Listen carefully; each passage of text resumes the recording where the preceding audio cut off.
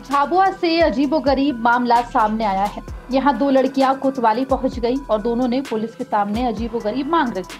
दरअसल दोनों लड़कियाँ बीते एक साल से पति पत्नी के रूप में एक दूसरे के साथ रह रही थी और वो दोनों हमेशा इसी तरह से साथ रहना चाहती थी दोनों ने पुलिस से कहा कि पति पत्नी के रूप में उन्हें एक सर्टिफिकेट दे दिया जाए, जिससे वो साथ रह सके। इस मामले में पुलिस ने सर्टिफिकेट देने से इनकार कर दिया। पुलिस ने कहा कि सर्टिफिकेट देना मेरा काम नहीं है और साथ ही उन दोनों लड़कियों के परिजनों को भी बुलाया। फिर दोनों को समझा बुझाकर उनके साथ भेज दिया गया है। आज रेमू निवासी बिजा डुंगरी का रहने वाली लड़की है और एक गुड़िया है, वो बडलवा की है। दोनों अभी थाने पे आए हैं और दोनों की पहचान में गुजरात में मजदूरी के दौरान हो गई थी, साथ में रह रहे थे। पिछले दो महीने से पति पत्नी के रूप में गाँव गाँव में रह रहे हैं। अभी दोनों के परिवार आए हैं। और जो भी होगा कार्रवाई की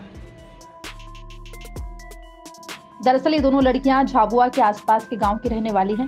दोनों गुजरात में मजदूरी के दौरान एक दूसरे से मिली थी। तभी उन्हें एक दूसरे से प्यार हो गया और वो पति पत्नी के रूप में साथ रहने लगी। लेकिन दोनों ही लड़कियों के परिजन इस रिश्ते से राज़ी नहीं है। एक साल भर हुआ है। और मेरे घर पे आया तो दो महीना हो गया है। तो क्या कह रहे हैं घर वाले? घर वाले राज़ी है। अच्छा, क्या कहते हैं? कुछ नहीं रहने तो ऐसा बोल रहे हैं। हमारे घर वाले राज़ी हैं? हाँ। क्या कहते हैं घर वाले कुछ नहीं राज़ी है। तो कहाँ राजकोट में पहचान हुई थी? हाँ। तो पत्नी के रूप में रहने को तैयार हो आप? हाँ। तो ये तो लड़की है। कहीं रही। चलेगा?